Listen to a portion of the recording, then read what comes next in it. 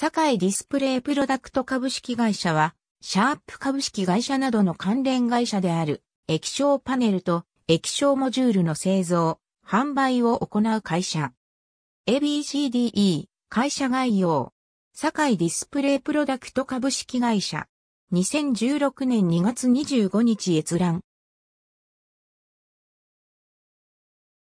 ABCDE 堺ディスプレイプロダクト株式会社第12期決算公告子会社の設立に関するお知らせシャープ株式会社。2009年3月24日シャープソニーとの合弁会社に向け子会社シャープディスプレイプロダクト設立しネットジャパン。2009年3月24日シャープ堺工場の液晶製造販売を子会社に移管。IT メディア。2009年5月18日ソニーとシャープ。液晶合弁で正式契約。IT メディアに2009年7月31日、業務提携に伴う第三者割当による新株式の発行及び子会社株式の一部譲渡に関するお知らせシャープ株式会社。平成24年3月27日大型液晶パネル及び液晶モジュール製造販売事業の合弁の解消についてシャープ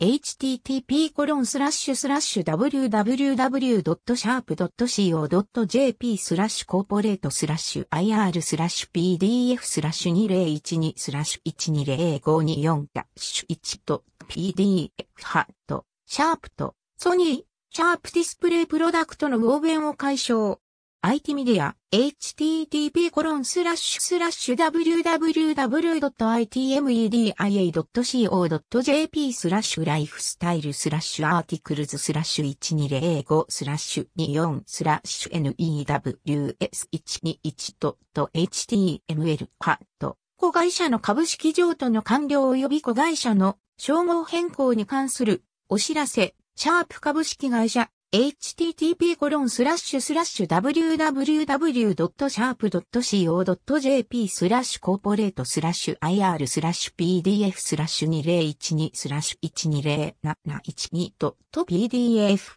ありがとうございます。